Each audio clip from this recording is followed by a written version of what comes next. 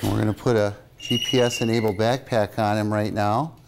First thing I'm going to do is tape up his feet, however, so he's not as dangerous as what he normally would be.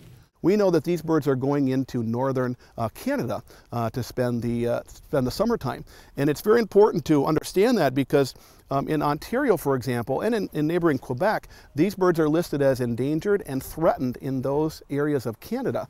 And so here we have a species that is relying on habitat in Minnesota to get it through the winter in good shape so that it can get back to the breeding territory and produce young. And so it's very important to be involved in this, in this research to really understand what that habitat and that habitat needs are so that we can better manage uh, for this species.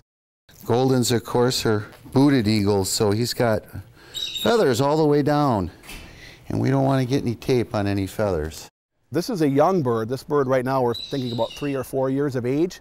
Fair amount of white uh, in the tail yet and that's how you can age them. The adults are very a dark brown all over. Uh, in fact, those adults look a lot like immature bald eagles do that first year of life. In fact, we get a lot of reports of, of uh, golden eagles along the river here, and along the river here, uh, we don't see the golden eagles. The golden eagles are only feeding on uh, uh, rabbits and squirrels and, and wild turkeys, uh, so they're not after fish at all. They're out in the bluff country taking advantage of that type of prey. Aren't they gorgeous?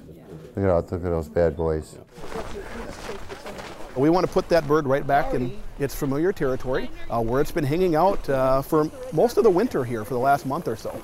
We pray for your safety out there and that you give us a lot of great data so we can help you and, and the rest of your kind thrive here in this, uh, this wonderful area.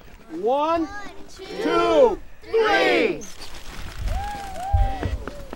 I really enjoy the golden eagles. There's just something about them that um, I connect with and I see um, and, and want to see over and over again.